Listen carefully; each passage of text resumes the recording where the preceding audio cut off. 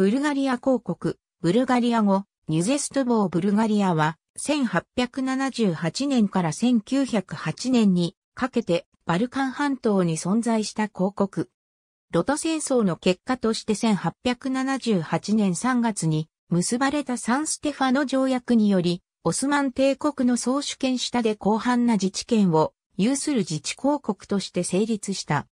当初は現代のブルガリアにあたる地域を中心にバルカン半島南東部に広大な領土を約束されていたが、同年7月のベルリン条約における国境再確定で大幅に領土を削減された。ドイツのバッテンベルク家から招かれた初代ブルガリア公、アレクサンダルは1885年にオスマン帝国の東ルメリ自治州を獲得して、ブルガリア再統一をほぼ達成し、セルビア公国の侵攻も撃退したが、こうした動きをバルカン半島の安定に対する脅威とみなしたロシア帝国の圧力を受け1886年に退位した。二代目のフェルディナントはザクセンコーブルクコハーリ家から招かれ、1896年にロシアとの関係修復と各国からの即位承認を獲得し、独裁体制を敷いた。1908年にオスマン帝国で青年トルコ人革命が起きた混乱に乗じて、フェルディナントはオスマン帝国からの完全独立を宣言して、ブルガリア王を名乗り、ブルガリア王国が成立した。1393年に第二次ブルガリア帝国が滅ぼされて以降、ブルガリアは独自の国家を失い、500年近くにわたるオスマン帝国の支配を受けた。オスマン支配下のバルカン半島のキリスト教徒は、ミッレト制により保護されつつも、ムスリムやギリシア人からの差別を受けた。その中でも信仰するブルガリア人は、オスマン帝国の中枢に近くヨーロッパ領における要となる地理的要因などのために、最も強くイスラーム界の圧力を受けた。一方で、ブルガリア人の多くが隔離された小村で生活してたこともあり、実際にムスリムに改宗する者は少数にとどまり、ブルガリア語や習俗などの伝統は生き残った。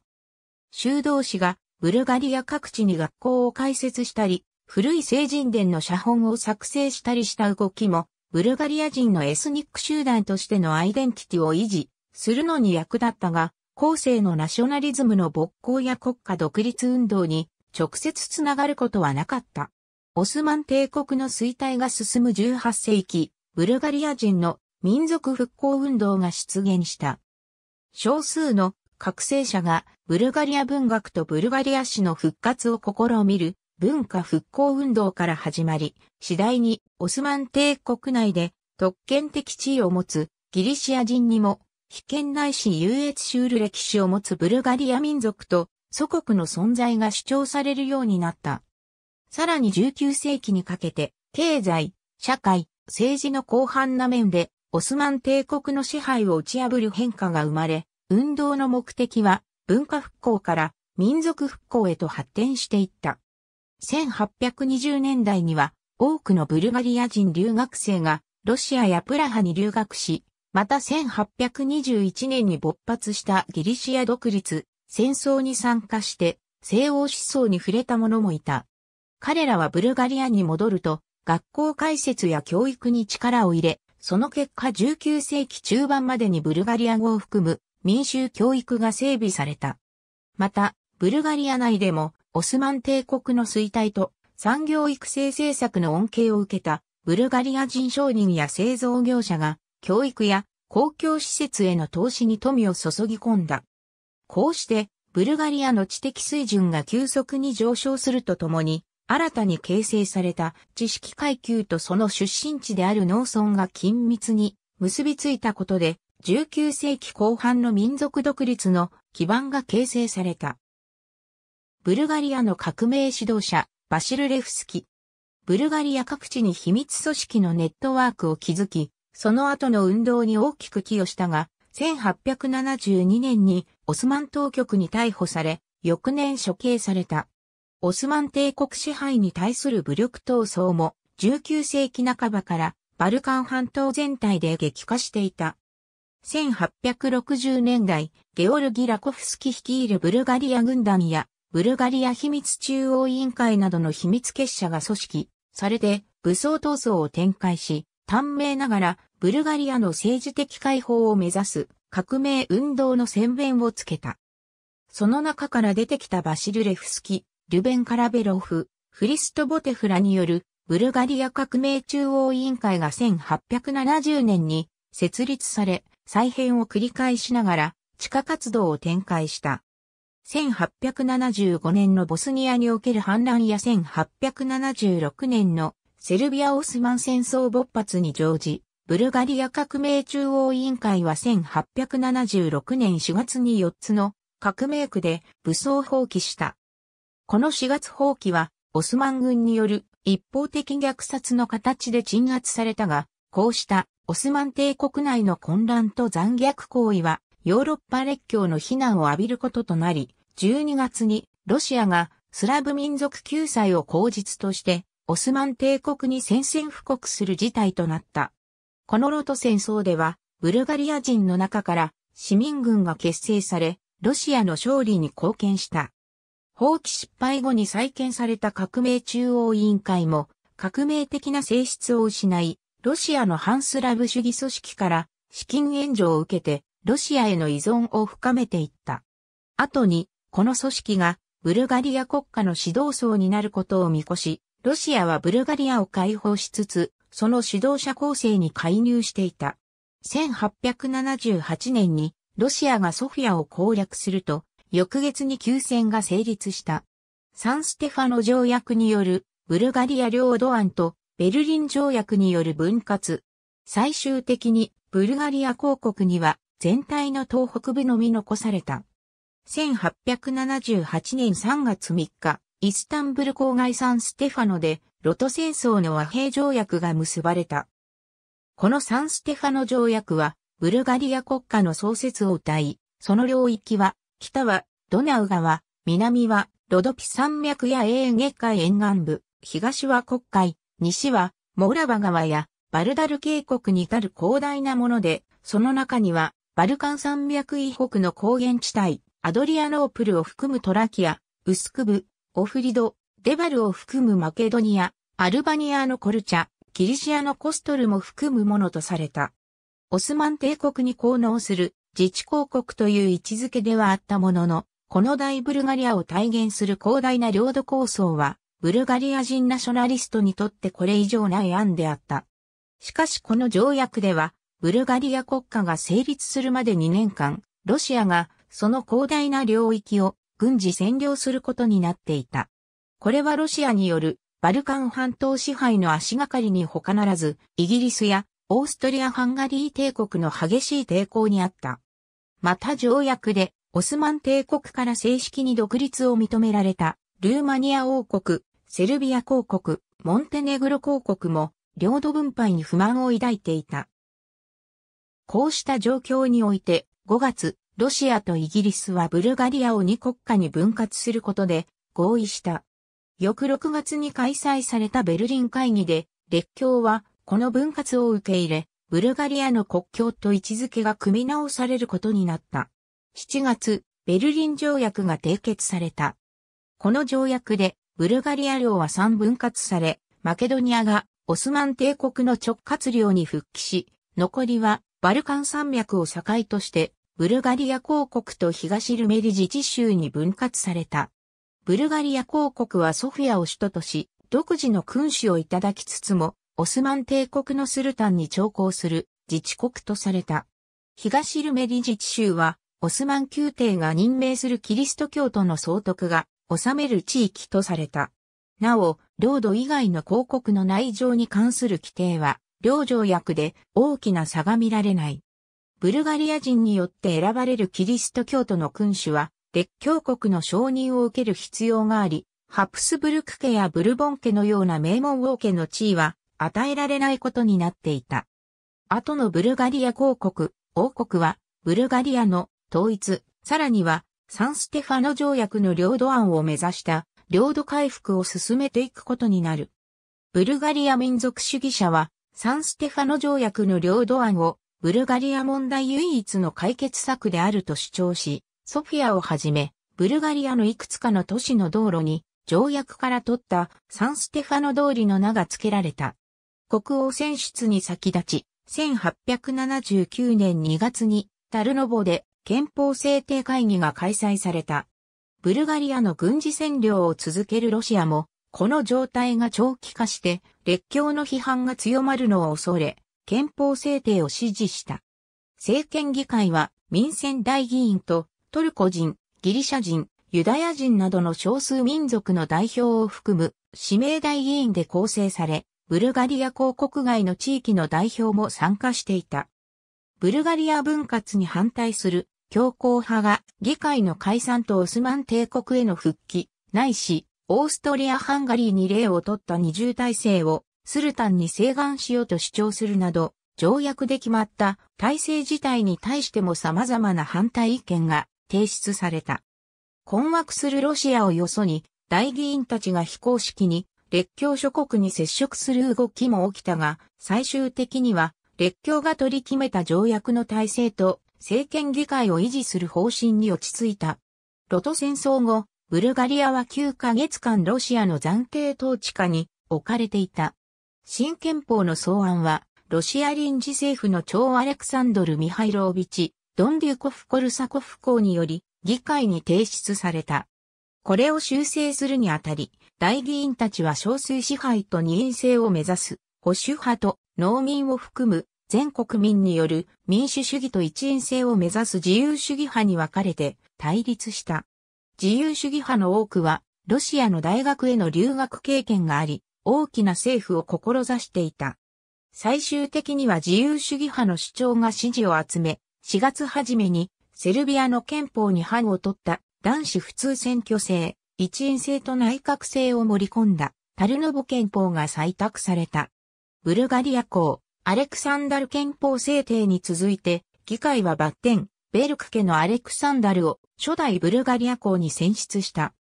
彼は、ヘッセン大公ルートビヒ2世の孫で、ロシア皇帝アレクサンドル2世の日、マリア・アレクサンドロブナの甥にあたる人物で、ドイツ帝国最小オットー・フォン・ビスマルクという義があり、ロシアの推薦を受けて、列強すべてが認める候補者だった。さらにロト戦争にロシア軍将校として参戦していたこともあり、ブルガリア人は彼に好意的だった。アレクサンダル自身も外国人である自分の地位を固めるべく、ブルガリア統一理念を受容した。彼と交代するように、それまでブルガリアを統治していたロシア軍は撤退したが、後に多くの軍事、文民顧問を残していった。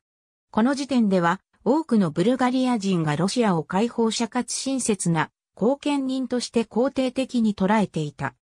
ドラガンツァンコフ議会の承認を得て招かれたアレクサンダルだったが、彼は自由主義的なタルノボ憲法体制と反りが合わず、間もなく議会と激しく対立し、頻繁な政権交代を引き起こすことになった。1879年9月の最初の選挙で政権議会の自由主義派の流れを組む自由党が勝利し、議会の多数派を占めると、アレクサンダルはすぐに議会を解散した。ところが、翌1880年1月の第2回選挙でも自由党が勝利し、アレクサンダルは自由党党首ドラガンツァンコフを首相に任命せざるを得なくなった。一時的なアレクサンダルの情報を受けて、ツァンコフ政権は、レフ通貨導入、司法制度の確定、広告成立期からはびこっていた山賊の一掃などの政策を進めた。しかし間もなくアレクサンダルと自由党の対立が再燃し、1880年11月にツァンコフが辞任すると、ペトコ・カラベロフが公認となった。アレクサンダルは憲法改正により自由党を放逐しようとしたが、西欧列強の介入の機会となるのを恐れたロシアが、それを許さなかった。ところが、1881年3月に、ロシア皇帝アレクサンドル2世が暗殺される事件が起き、後を継いだアレクサンドル3世が反自由主義的な立場を取ったことが、アレクサンダルの追い風となった。アレクサンダルは5月にカラベロフ内閣を解散させ、さらにロシアの承認のもと、かつての政権議会における保守派案に似た改憲案を発表した。改憲審議に向けた大議員選挙では、ロシア軍の協力の元改憲派が圧勝し、7月13日に開かれた大国民議会は、即日アレクサンダルの改憲案を承認した。これにより、議会権限や国民の自由が制限され、多くの自由主義者が東、ルメリに亡命した。ペトコ・カラベロフが亡命組を統率したのに対し、ツァンコフは広告に止まった。後に自由主義派は、この二人のもとに派閥に分裂した。しかし知識人層の大多数が自由党を支持する政治状況は変わらなかったばかりか、保守派もロシアからの自立を標榜してアレクサンダルと対立するようになった。1882年、アレクサンダルは自由主義者を中心に辛抱厚い、ロシアからレオニート、ソボレフとアレクサンドル・カウルバルスという二人の将軍を招いて、前者を首相、後者を戦争担当省につけ、国内行政の大半を任せ、状況を打開しようとした。しかしこれは、アレクサンダルと元より、ブルガリア軍指導部を占めるロシア人軍人たちの新たな権力闘争を生むだけに終わった。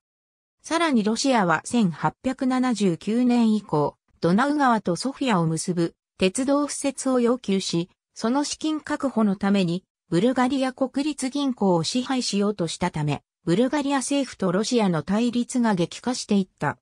というのも、ブルガリアはもとより、ベルリン条約の規定により、ウィーン、イスタンブルを結ぶ鉄道の自国内線路敷設を課され、莫大な資金を投じていたからである。1883年4月、アレクサンダルと保守派と自由主義穏健派が手を組み、ロシアの鉄道敷設要求より、ベルリン条約の履行を優先する決議を行った。9月にソボレフとカウルバルスはロシアへ帰国し、ツァンコフを主犯とする連合政府が成立した。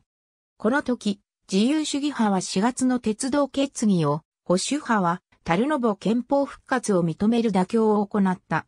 その結果、1884年12月にタルノボ憲法とほぼ同一の改憲案が国民議会を通過した。1884年6月の選挙はザンコフ派とカラベロフ派という自由主義派同士の争いとなった。ベルリン条約の鉄道問題でツァンコフ政府を攻撃していたカラベロフ派が勝利すると、首相に就任したカラベロフは、前年12月の憲法改正を無効とし、ブルガリア国立銀行の設立と鉄道の国有化を決めた。かつての自由党は民主党と自由党に分裂し、以後ブルガリア政界はもっぱらこの両政党の競争で運営されていくことになる。ペトコ・カラベロフ憲法問題が収束すると、ブルガリア、統一をめぐる領土問題が再燃した。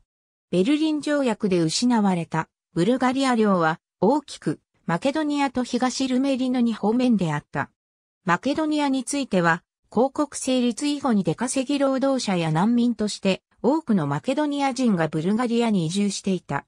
彼らはブルガリア人という自己認識を持ち、マケドニアのブルガリアへの統合を目指して活動した。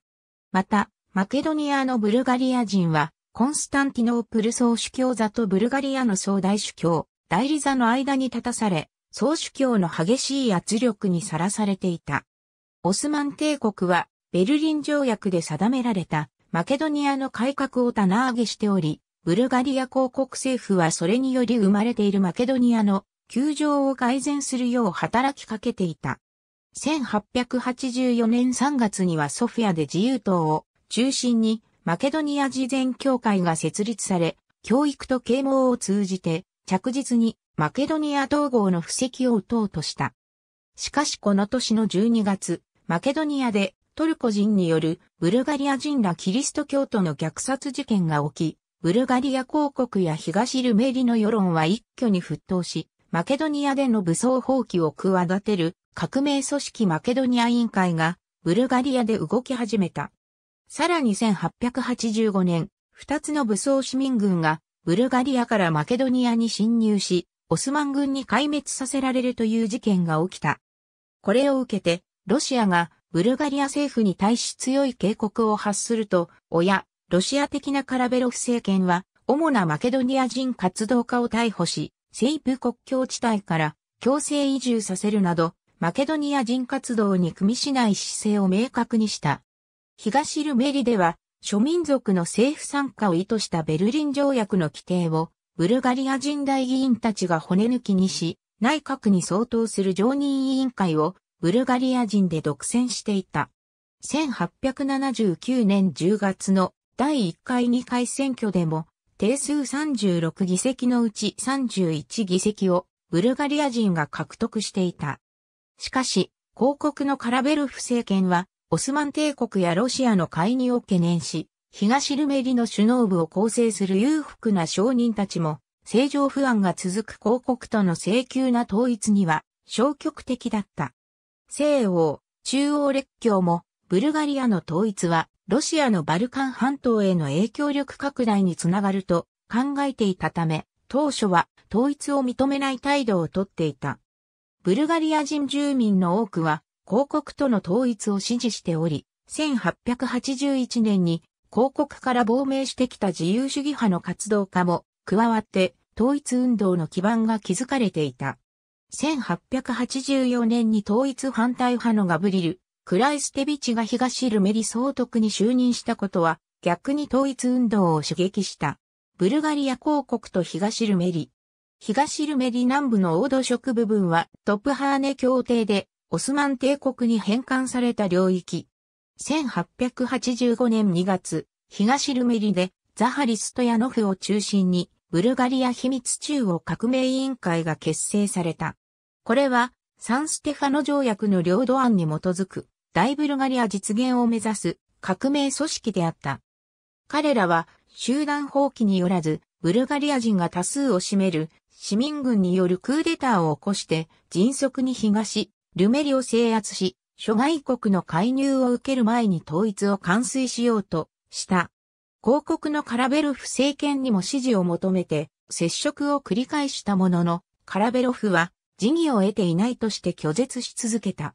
それでも統一運動の公用を背景に計画を推し進めた秘密中央革命委員会は、決起予定の2週間前にアレクサンダルに接触した。アレクサンダルはその時、ロシア外相と会談して、ロシアに無断で統一することはないと受け負ってきた帰りであり、最初は返答を渋った。しかし、委員会のメンバーが公に拒否されても統一を宣言すると語るに至り、アレクサンドルも統一計画の遂行に同意した。1885年9月18日、秘密中央革命委員会はクーデターを決行し、総督を逮捕して、オスマン帝国直轄領へ追放し、暫定総督を置くとともに、広告のアレクサンダル宛てに統一の宣告を伝える電報を打った。アレクサンダルは統一を受け入れることでロシアの怒りを買うことを恐れた。しかし、国民議会委員長、ステファン・スタンボロフに説得され、東ルメリの首都プロブディフへ赴いた。9月21日、秘密中央革命委員会が建てた東ルメリの臨時政府は行政権をアレクサンダルと広告政府に移譲し、アレクサンダルが統一宣言を行った。民衆が熱狂的に歓迎したのに対し、ロシア以外のザイプロブディフ各国代表は歓迎を辞退した。ブルガリア統一はベルリン条約に違反した最初の事件であり、広告政府は深刻な外交危機への対応を迫られた。ロシアはこれをアレクサンダルの裏切り行為とみなし、報復としてロシア人将校と軍事顧問を引き上げさせた。ブルガリア軍は指導部のほぼすべてをロシア人に依存していたため、この措置により、大位以上の将校がブルガリア軍にいなくなる事態が起きた。そして、ブルガリアの統一は反ロシア的な態度を取り始めた。アレクサンダルが退位した後に行われるべきであり、つまり、アレクサンダルがいる限り統一は認めないという態度を取った。オスマン帝国も抗議したが、東、ルメリへの軍事侵攻はロシアに牽制されたため、外交的なものに止まった。他の列強は、当初ブルガリア統一がロシアの後押しでなされたと考えており、イギリスやオーストリアはロシアの出方に応じて統一に反対しようとした。しかし、ロシアに見放されたブルガリアが他国から支持を得ようと使節団を派遣し、実情が明らかになるにつれて、列強諸国は方針を転換した。統一運動がマケドニアに波及せず、オスマン帝国がブルガリアに本格侵攻する意思を持たないことを確認したイギリスとオーストリアは統一に反対しないと表明し、ロシアに対抗した。10月26日、イスタンブルで国際会議が開かれた。ここでイギリスがブルガリア公が東ルメリ総督を兼ねることでベルリン条約との整合性を確保する解決策を提示した。しかしあくまでもアレクサンダルの退位を求めるロシアが反対し、会議は膠着状態に陥った。そしてこの間にセルビアとブルガリアの間で戦争が勃発するに至り、イスタンブル会議は事実上中断した。セルビアとギリシャはブルガリア統一がバルカン半島の安全保障を脅かすと主張し、また、ブルガリアの領土獲得に見合う領土補償を求めて、ブルガリアを脅かしていた。特にセルビアは以前からブルガリアに亡命していた元ベオングラード不死教ミハイロ・ヨバノビチの問題など様々な圧力を抱えていた。またセルビアはオーストリアと手を組んだことで一時的にボスニア・ヘルツェゴビナ獲得を断念し、代わりにマケドニアへの拡張を志していたこともブルガリアとの衝突を生んだ。オーストリアはバルカン半島で戦争が勃発するのを回避するため、ブルガリアにセルビアへの領土補償を求める方針で和解工作を行ったが、開戦への意欲が高まるセルビア政府を抑え切ることができなかった。1885年11月13日、セルビア王ミラン一世がブルガリアに宣戦布告した。ブルガリア北西部の国境は無防備であり、国内の輸送、補給インフラも未整備で東ルメリのオスマン帝国国境防衛に当たったまま、ロシア軍人の撤収で指揮系統を失っていたブルガリア軍は、セルビア軍がソフィア近くまで簡単に侵攻するのを許してしまった。しかし11月中旬、ブルガリア軍とルメリ民兵は、ソフィア近郊で行われたスリブニツァの戦いで、セルビア軍を破り、逆にセルビア領内に侵攻してベオグラードに迫る勢いとなった。最終的にはセルビアを保護するオーストリアが介入し、1886年4月にブカレスト条約が結ばれた。またこの間にイスタンブルでの会議も進展し、4月5日のトップハーネ協定でオスマン帝国への若干の領土割譲と引き換えに、今後ブルガリア公が東ルメリ総督を兼ねることが国際的に承認された。これにより、ブルガリアの領域が固定され、面積、人口ともにバルカン半島最大の国家となった。このセルビア・ブルガリア戦争とスリブニツァの戦いは、ブルガリア公国と東ルメリのブルガリア人が団結し、宗教を超えムスリムも含めた統一国家をまとめ上げるのに大きな役割を果たした。しかし一方で、両地域の制度的な統一は認められず、東ルメリ総督職は依然として5年ごとにオスマン帝国のスルタンや列強から承認を受けなければならなかった。これはロシアによるアレクサンダル罷免の余地を残すものであった。ブルガリア公、フェルディナント対セルビア戦争で勝利を収めたにもかかわらず、アレクサンダルの指導力は衰えつつあった。ソフィア成長に軽視された東ルメリ、特に1885年時点ではソフィア以上の繁栄を見せていたプロブディフの住民はアレクサンダルへの不満を募らせた。軍はアレクサンダルによるドイツ式の押し付けや恣意的な召喚昇進を疎んじていた。さらにカラベロフ首相がルセバル鉄道問題でイギリスの株主に釣り上げられた莫大な鉄道購入金額を飲むと発表したことも政局の混乱に拍車をかけた。ロシアがアレクサンダルの退位に反対しないという表明を行ったのを受け、1886年8月に親ロシア派の陸軍将校がクーデターを起こし、アレクサンダル廃位を宣言してルーマニアへ亡命させた。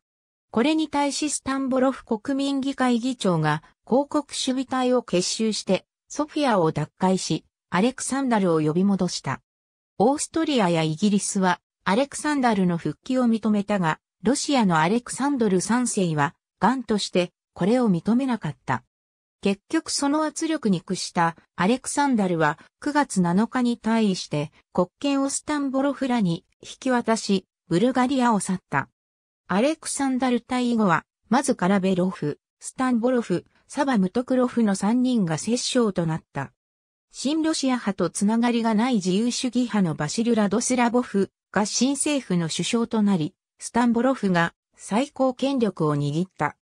スタンボロフは新しいブルガリア公を選出するため大国民議会を招集したが、ロシアは軍事顧問としてニコライ・カウルバルスがロシアから送り込まれ、クーデター勢力の囚人釈放と包囲解除、そして憲法に則っった正当な手続きを取っていない大国民議会選挙の中止を要求した。しかしスタンボロフは9月の選挙の遂行だけは譲らなかったため、権威を著しく否定されたカウルバルスは11月にブルガリアを去った。これにより、ブルガリアとロシアの関係は断絶した。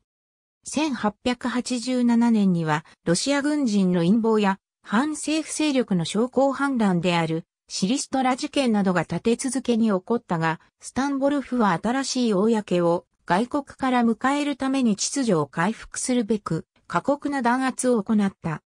カラベロフは摂政の座を降り、全面的にロシアの要求を入れて支援を得る方策を主張したが、シリストラ事件に関与した疑いで投獄された。1887年7月、大国民議会が再招集され、サクスコバーグ豪竹のフェルディナントを新ブルガリア公に選出した。ロシアから承認を受けられるという確約を得て8月26日にブルガリア入りしたフェルディナントであったが、後からロシアが態度を翻して彼を承認しない姿勢をとり、た列強もブルガリアよりロシアとの関係を優先して追従した。ステファン・スタンボロフ1886年に国民自由党を決闘していたスタンボロフは、これを与党としてフェルディナントにより首相に任命された。以後1894年までの首相在任期間をブルガリア史上、スタンボロフシュティナと呼ぶ。ロシアと国交を断絶したスタンボロフは、代わりに、オーストリアやドイツ、オスマン帝国との関係改善と国内の近代化を進めた。国内の反対者には、強権的な弾圧をもって臨んだ。スタンボロフ政権当初のブルガリアは、ロシアをはじめ列国からフェルディナントの皇位継承の承認を受けられず、親ロシア派などの陰謀に脅かされる厳しい状態にあった。しかし1888年末、イギリスから多額の借款を取り付け、以前からの懸念事項だったルセバル鉄道購入を実現した。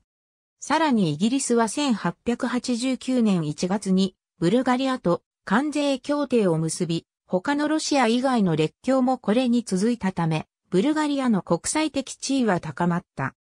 1890年、マケドニア出身の軍人で、アレクサンダルの友人だったコスタ・パニッツァが、マケドニアでのブルガリア運動の障害とみなしたフェルディナントを暗殺する陰謀を立てた。これを粛清したスタンボロフは、その背後にあったマケドニアのブルガリア運動の規模の大きさを逆手に、とってオスマン帝国に圧力をかけ、マケドニアの主要三教区をブルガリアの総主教代理座に移管させることに成功した。それまで険悪だった教会と政府の関係は一転し、さらに1890年後半の総選挙で勝利を収めたことで、スタンボロフとフェルディナントの政権はその地位を確固たるものとした。しかしフェルディナントは、未だに自身の国際的承認を実現できないスタンボロフに見切りをつけた。1893年、コンスタンティン・ストイロフのもと、自由党や保守派の一部、さらに東ルメリの統一党が集結して国民党を決闘した。また、フェルディナント自身も1894年に軍事担当省の任命権を獲得し、軍部を掌握した。ここに至って、スタンボロフは女性問題の告発を受けたのをきっかけに、1894年5月に首相の座を追われた。その後スタンボロフは激しい反フェルディナントキャンペーンを展開したが、ソフィアで宮廷の一揆がかかった将校に襲われ、殺害された。コンスタンティン・ストイロフ・スタンボロフ失脚後に首相に就任したストイロフは前政権の厳格な統制を緩和した。またこの頃、オスマン帝国がアルメニア人虐殺を起こして国際的地位を落とし、ロシアでは1894年にアレクサンドル3世が死去し、ニコライ2世が即位してブルガリアに対する態度を軟化させた。フェルディナントは、公使、ボリスの政教改修と引き換えに、ロシアからの支持を獲得した。1896年3月3日、オスマン帝国がフェルディナントを、ブルガリア公兼東ルメリ総督として承認し、数日中に、ロシアをはじめ列強すべてがこれに続いた。ストイロフは、工業、夜勤業、織物業、建設業など旧業種に資金援助や産業上の特権を与える積極的な産業振興策を取り、ブルガリア経済を大きく発展させる基礎を築いた。その支援策の中には鉄道を優待運賃で利用できるという特権があったが、東ルメリの鉄道を管轄するオリエント鉄道会社はこの法制を拒絶した。本来ブルガリア内の鉄道はブルガリア国鉄のもと国有化するという方針もあり、ストイロフ政権は東ルメリ内の鉄道創業権をオリエント鉄道会社から購入しようとしたり、並行路線を建設して対抗しようとしたりしたが、外資の反発を受け挫折した。余計な財政負担が増えて批判を浴びたストイロフ政権は1899年、農民から徴収する地層4年間物農の10分の一税に切り替えることで歳入を増やそうとした。元より政府の都合で納税方式が何度も変わり、大打撃を受けていた農民層はこれに起こり、1899年12月にプロブディフで農民運動の集会が開かれた。ここで生まれた組織は仏農への切り替えで特に打撃を受けていた北東部の国葬地帯ドブルジャを中心に過激な運動を展開し、1900年には流血を伴う警察との衝突事件を何度も起こした。鉄道問題と農民問題で威信を失ったストイロフは1900年12月に辞職した。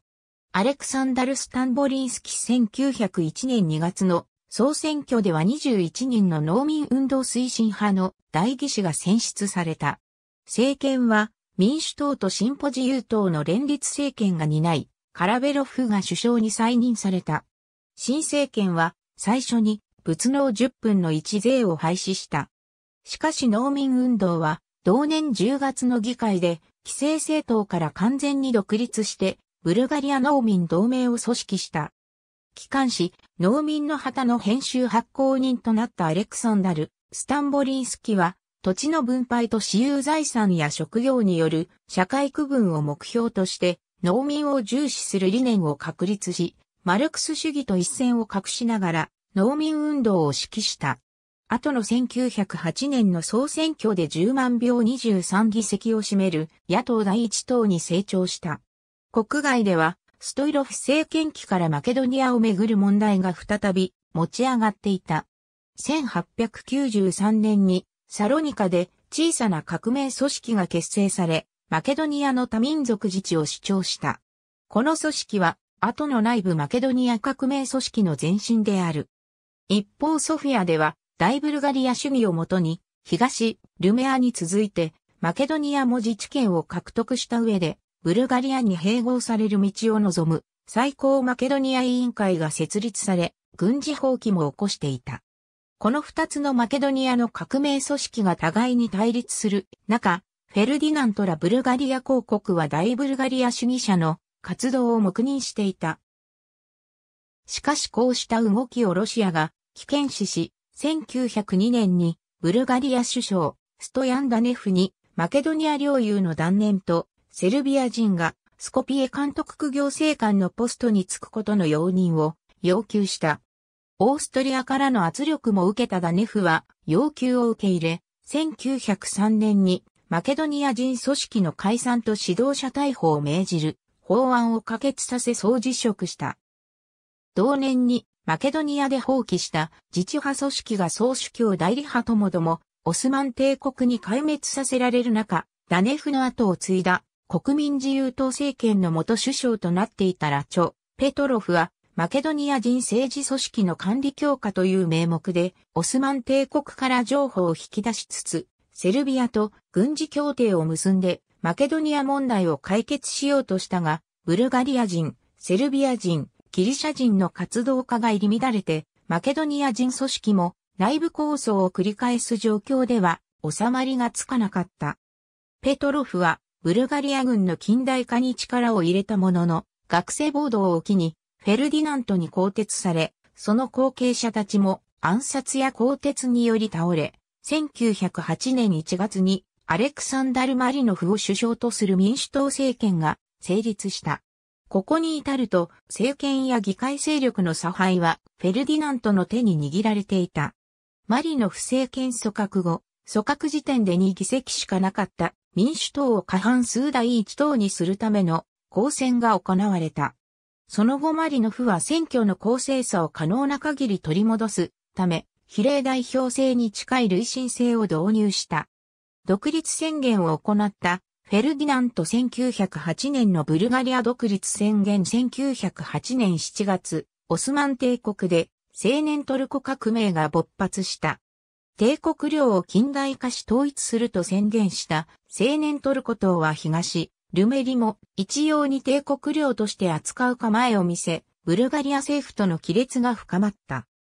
また、オリエント鉄道会社がストライキを起こした際、ブルガリアの鉄道の半分にあたる東ルメリの会社区間も操業停止したことにフェルディナントは激怒し、9月19日の東ルメリ合併記念日に強引に国内のオリエント鉄道会社区間を国有化した。そして10月5日、フェルディナントはオスマン帝国からの完全独立を宣言した。この日にフェルディナントがコトベリコタルノボで発した独立宣言によれば、ブルガリアは1885年9月18日に統一された領土が王国として独立するとした。対オスマン関係については、これまで事実上の独立状態にあったことが、両国関係を悪化させていたのであり、ブルガリアが正式に独立して対等になることで、友好的かつ平和的な関係が築けると謳っていた。実際には、オスマン帝国は態度を硬化させ、ブルガリア側も国境に軍隊を派遣し、一触即発の状況となったが、ロシアが仲介に入ったことで戦争はひとまず回避された。翌1909年には国際的に独立が承認された。マケドニアなどのブルガリア人勢力は大ブルガリアの領土回復前に独立宣言を行ったことに対してマトスタンボリースキラ農民同盟は共和主義の観点から抗議した。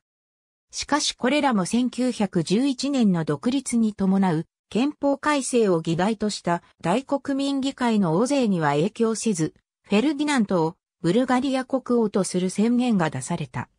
タルノボ憲法は一員制を規定していたが、実際には通常国会と大国民議会が並立する二院制になっていた。通常国会は毎年10月開催で大議員の任期は3年、大国民議会は行政官やブルガリア公の選出、国境変更再化、憲法改正にあたって招集され、大議員と教会、裁判所、地方自治体の代表、合わせて通常国会の大議員の倍の人数が出席した。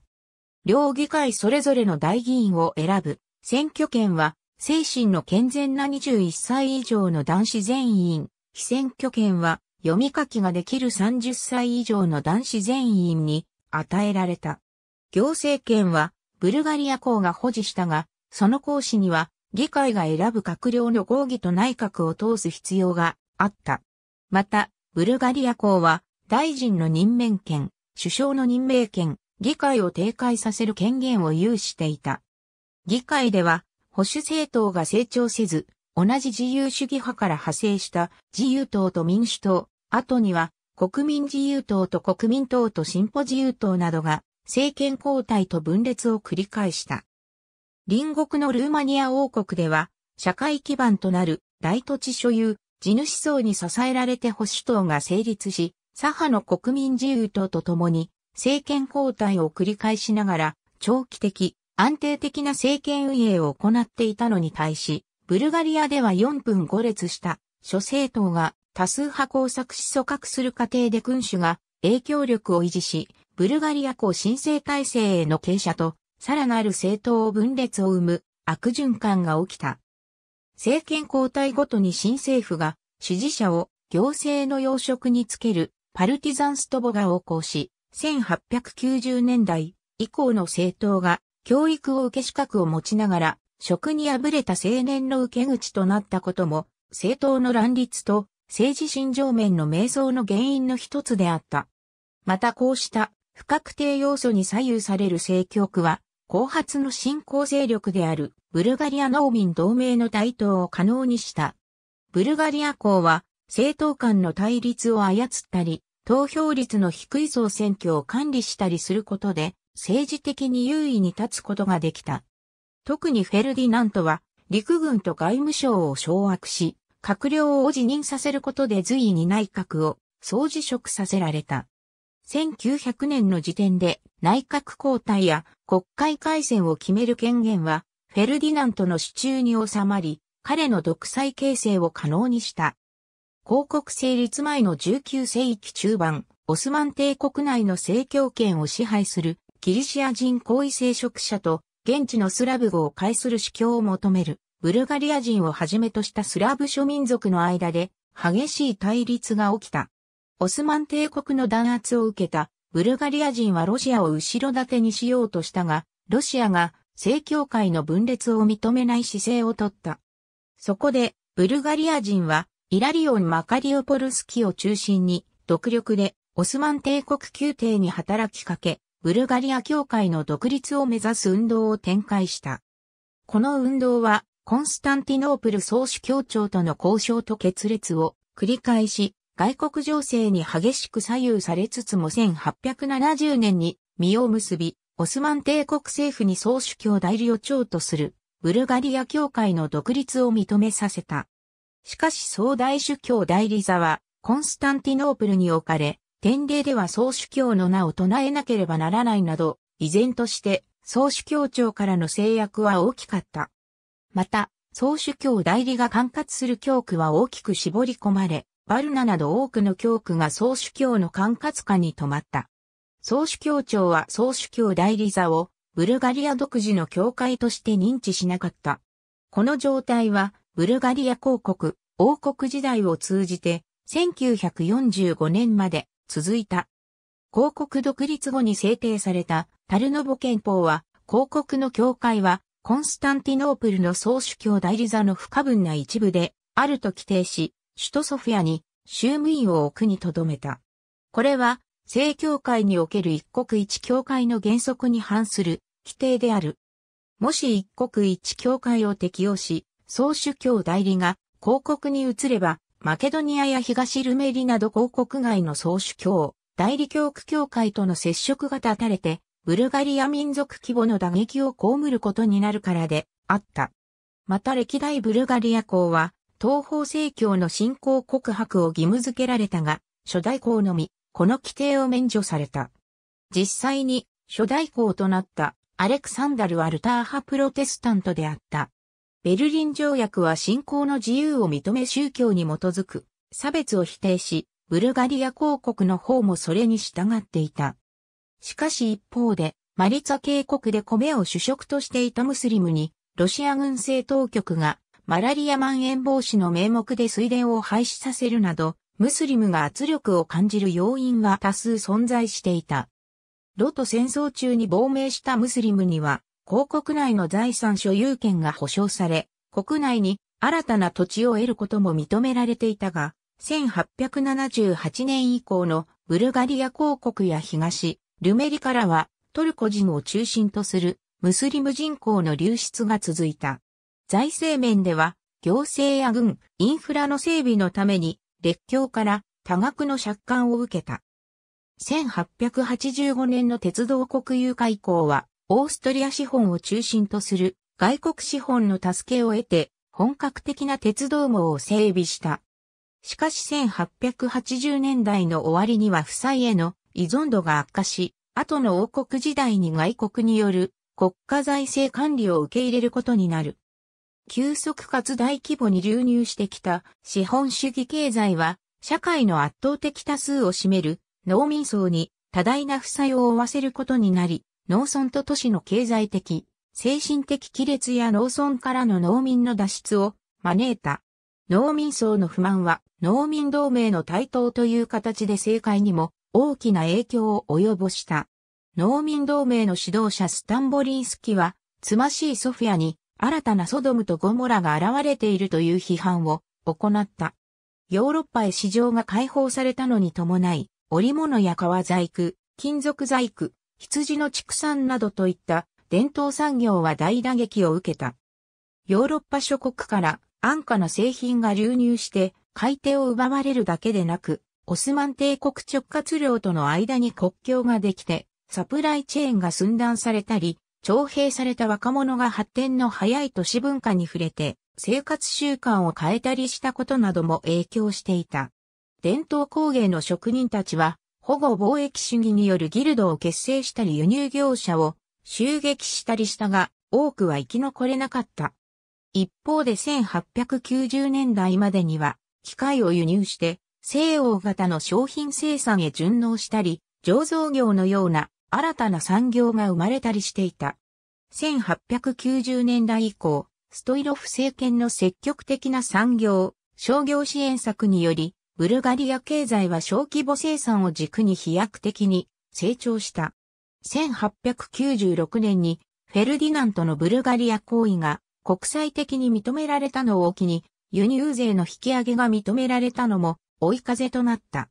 1904年から1911年までに国から支援を受ける業種の生産額は3倍に伸びた。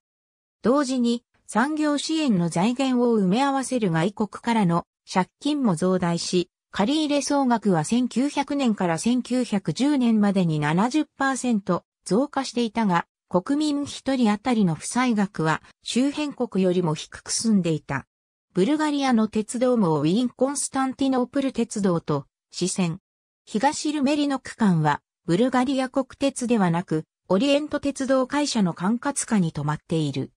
ブルガリア最初の鉄道は、イギリス資本により広告成立以前の1864年に建設が始まり1869年に開業したルセとバルナを結ぶものだった。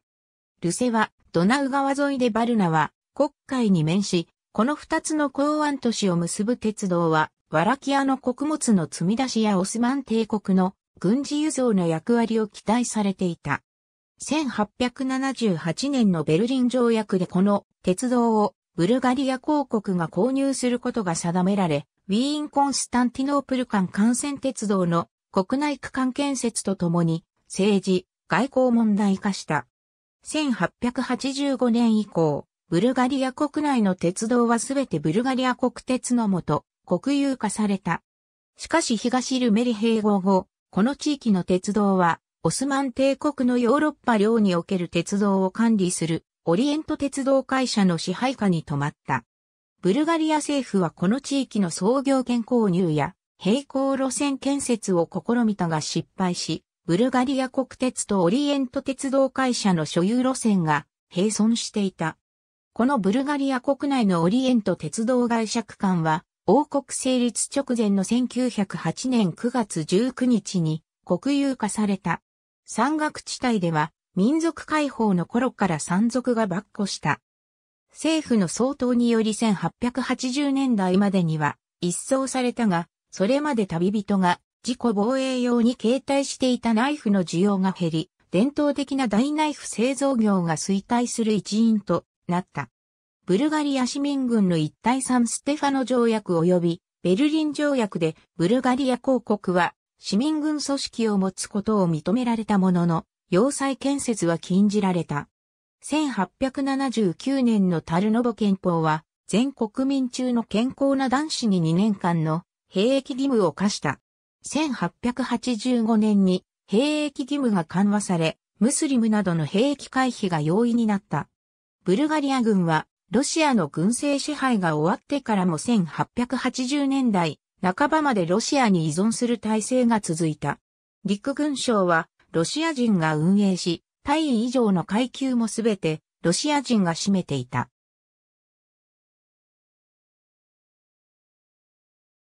アレクサンドル・カウルバルスのように、ロシアから派遣された顧問が陸軍省に任命されることもあった。しかし1885年にロシアが将校と顧問団をすべて引き上げさせたため、このロシア依存体制はブルガリア軍の上級将校組織すべてとともに消滅し、直後の対セルビア戦争では上級士官がいない急増部隊の状態で戦うことを強いられた。それ以降、ブルガリアは王国時代の第一次バルカン戦争まで対外戦争を行っていないが、その間にも近隣のマケドニア問題や外交問題に対処するため、ペトロフ政権などが軍の近代化に取り組んだ。1900年の国勢調査による国民構成は以下の通りである。ブルガリア公国内で多数を占めたのはブルガリア人で、その多くがブルガリア正教会に属していた。